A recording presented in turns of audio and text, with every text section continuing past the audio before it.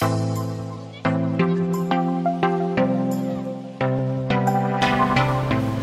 I'm John Emerson Ingito, rider of Forest 1M Yamaha Racing Team, who will be joining UB150 in ARC.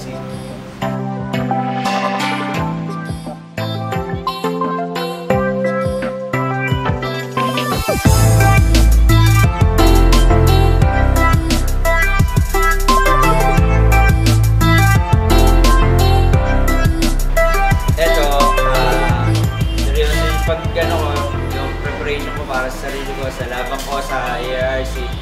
Ah, continuous yung mga exercise na ginagawa ko, tsaka yung discipline sa pagkain. Ah, sa pagbabike, dire-diretso ako halos sa isang linggo, tatlong beses, apat na beses. Tsaka sa pagkain, limitado na lang. Naka-focus ako sa sa ginagawa namin yan sa racing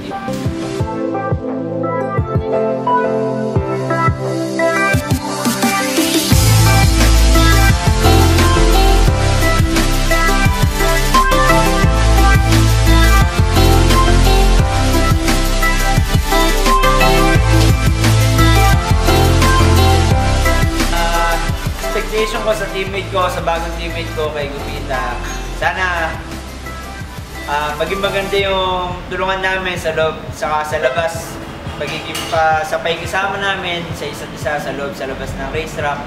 Ah, sana maging maganda yung result namin dalawa.